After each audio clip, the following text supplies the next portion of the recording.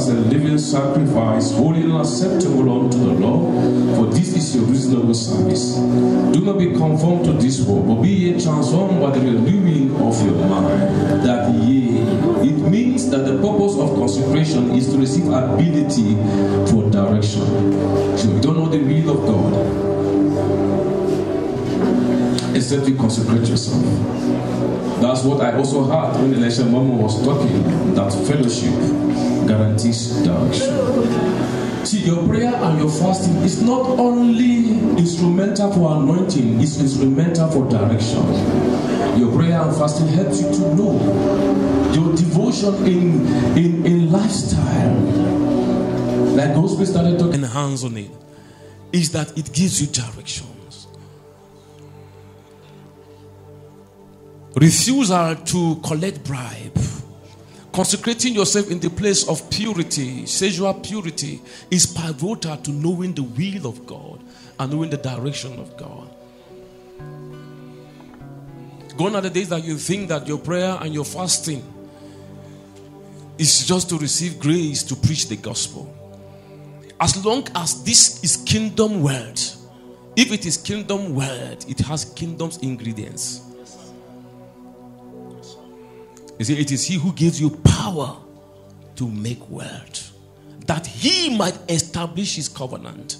The word covenant there is buried. It's not just cutting into pieces. It's not just passing through as we always know.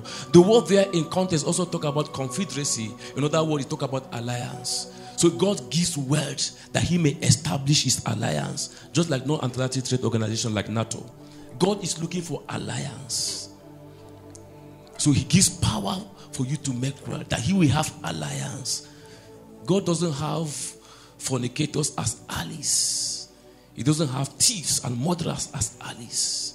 He has people that carry his character as his allies, even in terms of economy, even in terms of military, in terms of politics. That's why you are talking about kingdom world. So, what I'm saying is that everything you begin to do must be holistic. The issue of financial advancement, financial prosperity is not an elective, it's a caucus It's holistic. Because, sorry, sir. You know, when I sat down and Pastor Goswi was talking, and he began to talk about the fact that it's like God cut him away from that atmosphere of soaking what he wanted to do and then brings money. Then I have not seen that he has not lost the atmosphere. Yeah. I didn't see him losing the atmosphere. Yeah. It's just that God is is showing to him that all that I was asking you to tank up, this is the channel. This is how I want you to release it. So, in case you are thinking that money reduce anointing is a lie, Yeah. and that is what I believe Elisha Maman began to talk about. Once you discover that money has a tendency of making you serve mammon, then you are not ready for kingdom world.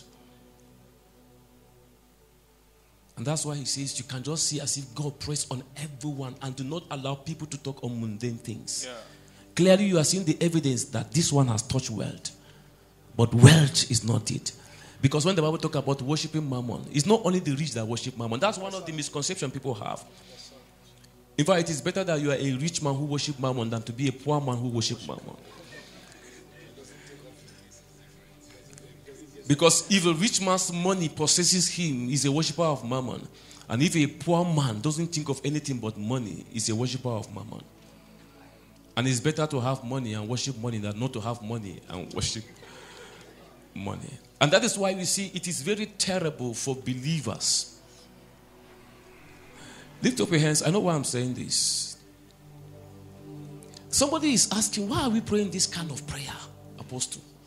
After hearing this, you think when you hear Jimmy, all you want to hear now is okay, what are the principles of Forex? What are the strategies? How do you understand the indicators and all that? and then he began to pray. You hear Pastor Ghost will talk, and then his entry into the prophetic. Even the general overseer of Agreement International Ministry. Could he speak about the principle, the two principles that end poverty and two principles that create wealth. He ended up in prayer. Is the Lord is saying to us that in these last days, the three P's are being restored purity, power, and prosperity. Lift up your hands and begin to pray. Ask Him, let that portion be released to you, that the eyes of our understanding be enlightened, that we will know the hope of our calling and the glorious riches of an inheritance in the saints. That is a powerful prayer to pray. It can be for seven years, like him. It can be for 10 years. It can be for 20 years. Let my eyes be open. Basufalita. Engrakopalati. Emmanuel Sainka. Dazuva. Zabali. Rana Sokotaika Mejia. Zavalia Raparia Ruskabanta. Eneno sapelia angaskotebia rabaria tesa kutebelia embrenta savaria roskopuria penizate katuskevia emenano asivelanta embrakurata sapaya enkatemenoshike embekuliba yavranta sapela katana Thank you, Jesus. Thank you, Jesus. And finally, Apostle, you are the one that is causing this trouble. You know, in this department, I'm not an instructor, I'm only a beneficiary. So I didn't want to talk. I love to hear about kingdom wealth, but I know I'm not an instructor in kingdom wealth. I'm a beneficiary. My department is different. Amen. But I like this department so much. Amen. So all I will say is because I sense an urgency in all our ministers today. I, I was listening actually online before I went to pray. I was listening to Pastor Isaiah, I think, and I.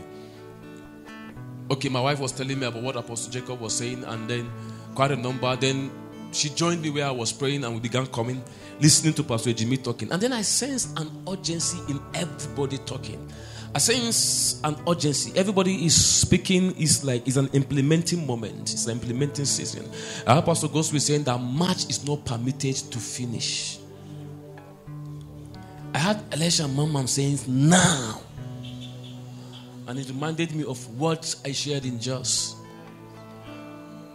That there is only one person that speaks in this exclusive way Jesus Christ. He will say, The time cometh now is. Every other person speaks, but when it comes to Jesus, he will say, The time cometh. And now is now is, is an exclusive right of Jesus Christ. What it means is that every other person was speaking in the realm of the prophetic, I speak in the realm of fulfillment. It means every prophecy, as long as Jesus appear, is now is. And if we're in the order of Christ, for us, every prophecy is now is. So lift up your hands and say, Now is. Can you see it from your spirit? Every prophecy about kingdom billionaires now is. Every prophecy about kingdom financiers now is. If you have ever had any prophecy that a time shall come that the church will become an institution on our own and a government, now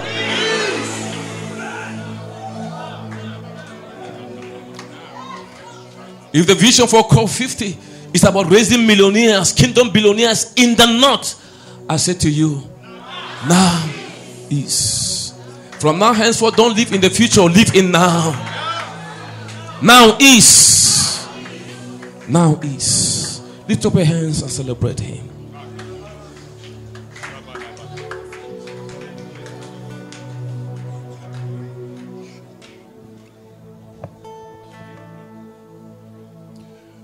Hallelujah. Um, it, has been such a blessing so far. Um, one of the things that's exciting my heart about this meeting is that this is um, God's plan for the season. It's so strong. Pastor Jimmy is here. You know, last year I began to pick it in my heart about having a um, believers, entrepreneurs, and finance conference. I've never had it in church. It just came strong. Last year I reached out to him I showed you when I saw your meeting. I showed you the handbill that were done, yeah. and all that. And, and it's, it's in March next month, and it seems to appear that this is what God is emphasizing in the season. And when God begins to emphasize a certain thing in the season, it, it begins to you know, it, it starts coming up in the heart of different people. And, it's, and if there is anything we must pay attention to now, as believers in Christ Jesus, is this topic that we're talking about right now. Must pay attention to it. Glory to God. But the, the prayer in my heart for us right now, as touching kingdom finance, kingdom finance is not something you can work for. It's not something you can work for. The one you can work for, that's not what God is talking about. I don't care where you are working, I don't care how much are paying you. It's not by labor, it's not something that will come by your effort. It's, it's something supernatural, something that will flow to you. And one of the ways this happens is what um, um, Pastor Elisha Maman was talking about. How he was, I was he, he was in that office when that that conversation was happening. And it brings me to Ecclesiastes 9, verse 11, the, the NLT. He said it's about being at the right place at the right time. And it's all tied to what he was also talking about. Being at the right place at the right time has to do hearing the voice of God. So if there's one thing a believer must not joke with in this season, is speaking divine signals. Hearing what God is saying and just following it through is all we need in this season. Uh, aside the effort, the labors, and all we are putting in, is the, the Bible does not condemn that. Because God does not intend that our work be our source. That's why Paul admonishing told them, He said, Let him who stole, he said, Let him steal no more. But working with his hands, let him have to give, not let him have to sustain himself. Because God does not He don't design it that your work should be your sustenance. He wants to be your source. He wants to have the glory. And if that finance is going to flow through you, it, it's going to be tied strongly to his leading and to his voice. So my prayer for you tonight is in the name of Jesus that you will hear his voice and you will be in the right place at the right time. In the name of the Lord Jesus Christ. And that your name will come out in places that matter. Your thought will drop in the heart of men that matter. In the name of the Lord Jesus Christ. And in this season, you will not miss divine signals. And as we tarry in the place of prayer and we keep praying, one of the things that will come in this season is alignment. You'll be aligned with God's plan and purpose for your life. You'll be in the right place at the right time. Your name will shoot up in the right places. Men will have conversations and your name will pop up. And by that divine orchestration, your finances will take a new turn. In the name of the Lord Jesus Christ. Amen. Hallelujah. Um, this is a very strategic meeting. Obviously, God orchestrated this to shift many people into their divine ordination, especially as touching the matters of kingdom wealth. Um, we all are aware that Jesus is coming for a glorious church, spotless church not just a church that will be known for miracles, for signs, but a church that will demonstrate the wealth of heaven, even in the earth. Um, and I believe that God has led these wonderful speakers, everyone who had mounted this podium today to speak, not just to speak words, but to release spirits. The Bible says, while he spake, the Spirit entered into me and set me upon my feet. And I speak this to you prophetically. If you have been lame financially, if you have been down financially, what you heard today are not just words, they are spirits. And you must understand that wealth is also spiritual. And I believe that that's one of the reasons why God has led everybody here to emphasize the place of relationship, the place of connection, the place of prayer. I want you to believe today that something has changed in your life. I stand in agreement with the coalition of apostolic forces represented here, men and women of God, representing God in different faces. The Bible declares that if two of you shall agree as touching anything, it will be established. We speak into the lives of everyone here that you will come back with testimonies that only God can give. Indeed, you will come back and say, Really, it is not by might, it is not by power, but this one has been by the Spirit of God. Now, it doesn't matter how you came here, it doesn't matter what is in your bank account right now, it doesn't matter that your, your story right now. I speak to you in the name of Jesus. You go in this might and you will conquer. A new dimension of wealth opens up to you. New ideas. That mental limitation is broken right now. I decree and I declare by the power of the Holy Ghost that the earth will yield a harvest for you. You will not labor like others little input, maximum impact. In the name of Jesus Christ, I declare the Bible says, as they speak one to another, it says, a book of remembrance was opened in heaven. I decree because of the conversations that has happened here today, a book of remembrance is open for your sake in the name of Jesus.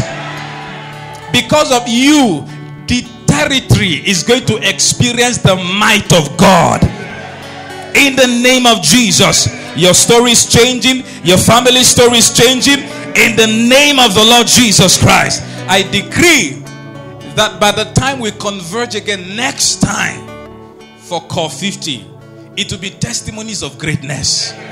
None will be small. The Bible says the least among you will be as David. But I decree and I declare what eyes have not seen in Kaduna what ears have not heard, the dimensions of prosperity. People will ask, Who are these ones? Who are these that fly? Who are these commanding this dimension of wisdom and wealth? In the name of Jesus, you enter into that reality. In the name of Jesus Christ. Amen.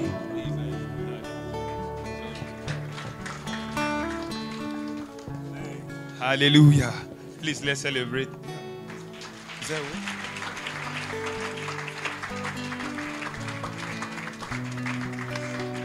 Come on, do it better.